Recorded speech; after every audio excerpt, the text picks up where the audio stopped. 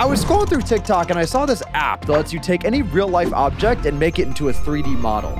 So I had this crazy idea. this is gonna be tough. Machoke would be good. I mean, his, his stature definitely definitely matches mine. Don't crash, don't crash, don't crash. What? I want to be a Pokemon. This is like something an insane person would do. That's weird. Not the trainer. No, like that's not me. That's that's the boogeyman. What's kind of crazy about this is that if this works, I can put anything into a Pokemon game. Okay. I think I'm done. You're in the game! Yeah. You look better, dude. you honestly were kind of generous with this design. Damn. Okay, let's take it up a notch, huh? Take it up a notch. Now he's got the cat size accurate. Oh! It looks great.